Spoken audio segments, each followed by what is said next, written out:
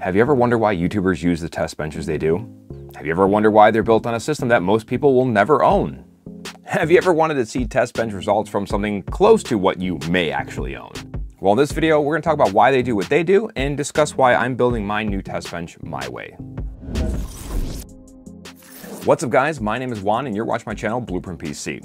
It's finally time for me to retire my current Average Gamers test bench and I wanted to take you guys along for the ride for two main reasons. The first reason is simply I want to explain why I chose the parts that I chose so you guys understand that better. And the second part of that is simply so I have something to refer back to so in a later video when somebody comments and say, hey, why the hell did you do that? Well, here's a video to find out why. But real quick, the reason why other YouTubers do a super high-end system is they want to minimize, not remove, just reduce the bottlenecks that may be in the system. You know, whether that becomes the CPU, RAM, even the hard drives now, whatever that may be, they do that to reduce the possibility of any kind of bottleneck to where hopefully in, the intent is that the GPU will then become the bottleneck at that point in time. Now, this is perfectly fine, and I honestly think it's a good thing that there are people out there that do that, and I do encourage you to watch as many of those videos as you can handle in conjunction with mine, because this will give you the full spectrum of what you should expect from a given GPU. So that way you know, hey, if I have the full balls to the wall system, this is where I'm gonna land. And if I maybe don't have that, I have what I can actually afford for, you know, most people, you're probably gonna fall somewhere in this like, you know, super low end to kind of middle ground budget realm you're gonna get a good idea of, hey, this is where I'm actually gonna see performance at versus, you know, some hopes and dreams. And that's pretty much the main reason why I do it is because most gamers can't afford this top tier, like 5 to 10% of the best of the best hardware. Most people are going to be in this, you know, lower end spectrum. So it's going to give you a good result of what you should actually real world expect to see when you get these components home in your own rig.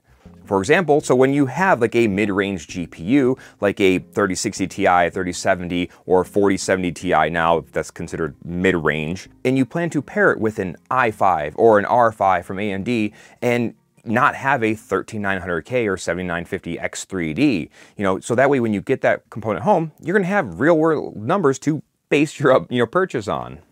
And then you probably ask, well, what if I actually have that super high-end rig? Well, then here's the other benefit the way I do it.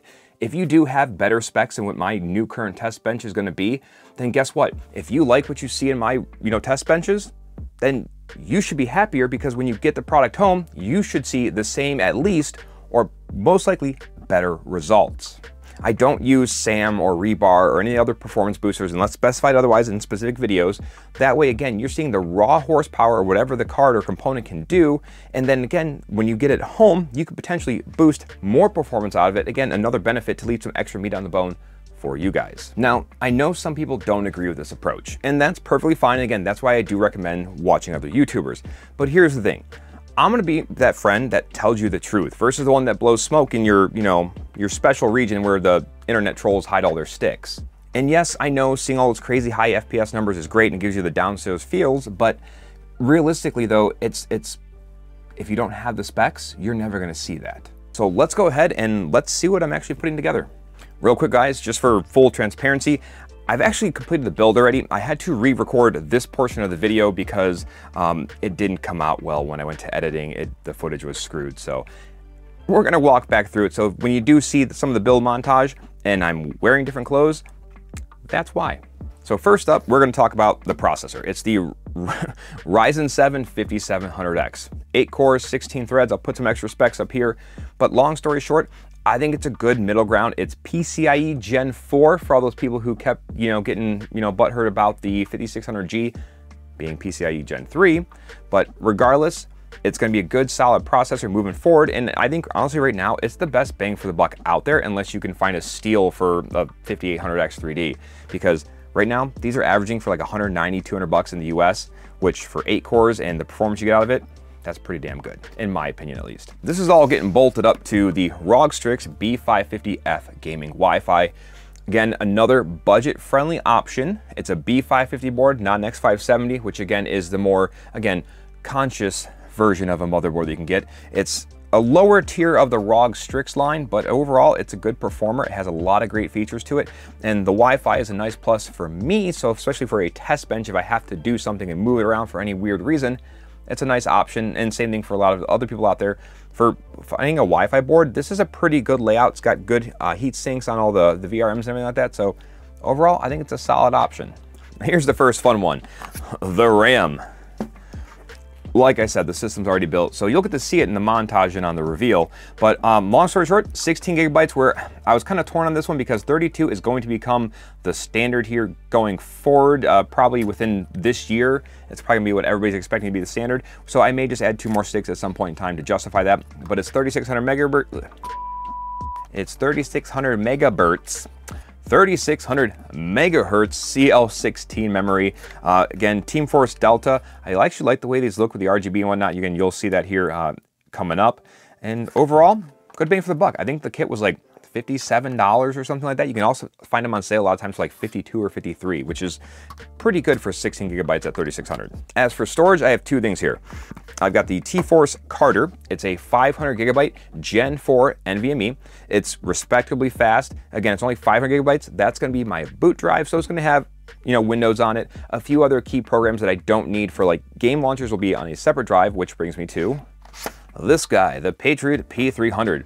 This is a Gen 3 NVMe at 2 terabytes, and this will be my game drive. And the reason why I have these separate is because this guy right here, you know, again, boot drive. When you're doing a lot of uninstall, reinstall, uninstall, reinstall of different drivers, etc., sometimes Windows gets a little corrupted and then you have to reset or just completely reinstall and reformat, you know, a brand new install of Windows. And it's nice to have a separate boot drive for that. And then your game drive, so you don't have to reinstall two terabytes worth of games to do that. So that's why I do recommend doing that, and that's also why I'm doing that. And that brings me to the sponsor of this video. Enermax has, you know, been a friend of the channel here for some time, probably more than I deserve in all honesty, because they usually provide me with something that takes me forever and a day to get around to actually using it in a video. But they gave me a couple components here which are helping make this build happen. First up is the Revolution DF. It's a fully modular, gold rated power supply awesome quality, super quiet, and I can't think of enough because this is going to be good for any GPU that I'm going to test, technically considering the 4090 is still rated for 850 watts. Um, so we'll find out at some point in time. I might actually plug the 4090 in this and see what happens. And that brings me to the next part provided by Enermax, which is this, the Liquimax 3 in white, which I love because it's going with my build and you'll understand why here. Obviously the white RAM you couldn't see there, but these are awesome. It's a 360 millimeter AIO, so three fans, RGB out the yin yang, and they're relatively cheap. A lot of times you can find these for like 100, 110 bucks, sometimes even less when they're on sale. So for a 360 AIO for 100-ish bucks, that's pretty good bang for the buck in my opinion. And honestly, they're really easy to install. They have daisy chained fans for RGB and just the actual fan headers themselves. So another win for these guys. And they kept it really classy where everything's white. It's not like all white and then you get like a random black cable somewhere. Like everything's whited out and then obviously the black will coincide me all black. One thing you may have saw me shuffle to the back earlier is just a creature comfort thing that I enjoy is just power cable extension. These ones are from Asia-Horse. I've used Asia-Horse, CableMod, um, Formula Mod, a whole bunch of different varieties. I haven't had any issues. If I ever have issues with some, I'll let you guys know.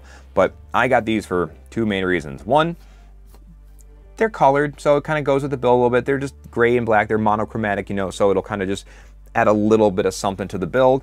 But in all honesty, when a test bench is in question here, I like having these extra cable length because when you're plugging in a variety of different GPUs, you know, yeah, you might get lucky in a few, then you get that one random GPU where your cables just aren't long enough or they won't reach around a weird bend or something like that. So these will come in handy, give me a little bit extra length, so that way I can make whatever I need to happen, happen.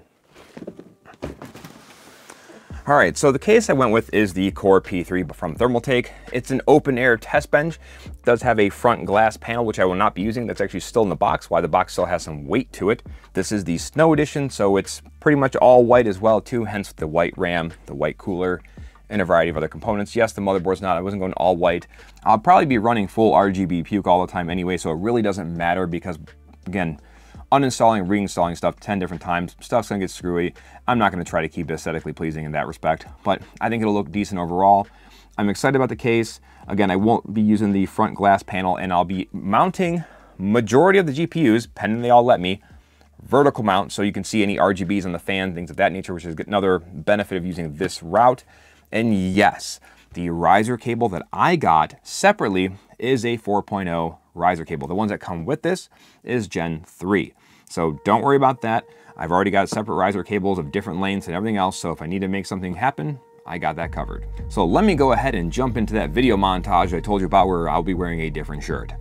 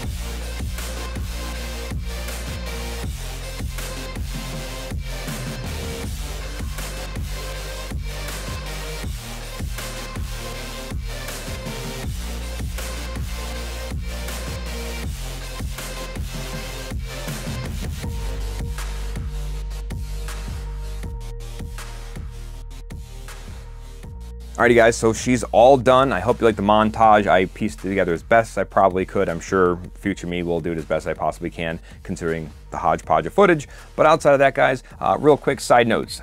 3060 Ti, those are the fans I was saying in the previous video that I actually really liked. Um, I do see it now, staring at it for a long period of time, how they can become a little overbearing in probably fairly short order, but I think initially they're kind of cool looking. As for the build, overall came out really well. Like I said, the AIO from Enermax, honestly, it's super clean, it's super nice. The fans are great. Um, it's I don't know what you can hear and pick up on this because there's obviously this fan, that fan, the pump and all that, but it's honestly respectably quiet. It, it's nothing that you're gonna notice. Even in an open chassis like this, it's something that I would be perfectly fine gaming right next to me. Um, one thing I will tell you too that I kind of did a, a little hack on was right here, uh, the AIO cable is, is white, like I told you, it's all very matching, it's very cohesive. Um, but with a black motherboard, that white cable stuck out like a sore thumb. So I actually took some black fabric and, you know, essentially re-sleeved it very poorly. But that was fixed just to kind of make that blend in a little better and not just stand out like this big white line going across the motherboard. Um, overall, I'm happy with it. I'm excited to start getting back into running some benches to see what some of these cards can do. And I have a whole bunch of new content coming up here uh, following the now that this is complete. I apologize for the delay uh, after the holidays. There was some personal stuff, etc. But yeah, I'm not gonna get into that, guys. Outside of that, do me a favor, please hit that like subscribe button and I will catch you in the next one.